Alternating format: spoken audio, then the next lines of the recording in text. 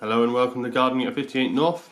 In this video I'd like to show you my Venus flytrap and give you an update on how it's doing. So the last video I showed you I think was one with a time lapse and what happened is basically I had it outside on my balcony all summer but because it's so cold here in Scotland the plant really didn't ever think it was summer and it just grew very slowly and was suffering quite a lot.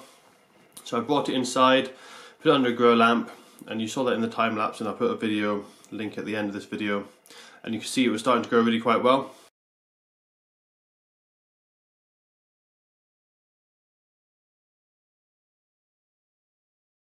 So since then I've put it on a sunny windowsill, even though there's not a huge amount of light at this time of year, but the extra warmth it's had has really caused it to grow a lot. You can see that these traps are quite large now, and I've been feeding it. I've fed it about three or four times, I think, in the last few months.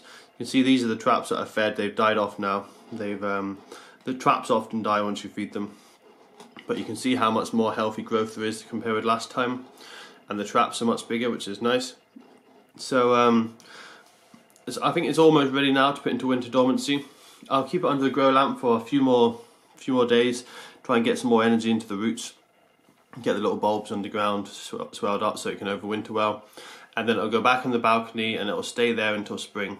Because what you need to do with Venus flytraps is they need a cold period. If they don't have a cold period, then they'll just kind of stop growing and they'll slowly die away within a couple of years. So I'll be giving it the winter period because where they come from in North America, it does get cold in winter, and they need that cold spell to to go through their normal life cycle.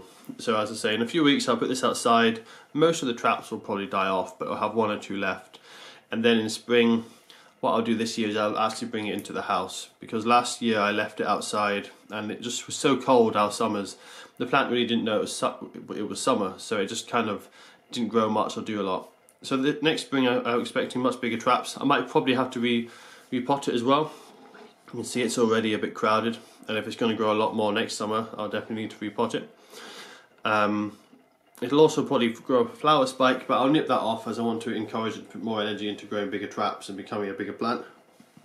What I'm thinking I might also do next spring is buy another type of Venus flytrap. This is just kind of like a normal Venus flytrap which is very similar to the ones you get in the wild but there's been a lot of people recently breeding bigger and bigger Venus flytraps, which are probably three or four times the size of this.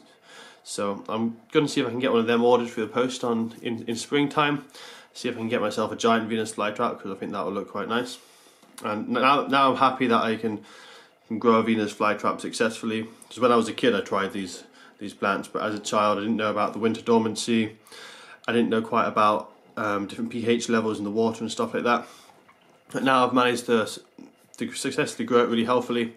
I'm quite confident I can buy some more interesting varieties and have some really giant traps on them. So all I'll be doing with this is I'll take off some of the dead material um, just before I put it outside and as I say I'll just leave it to be, be left outside.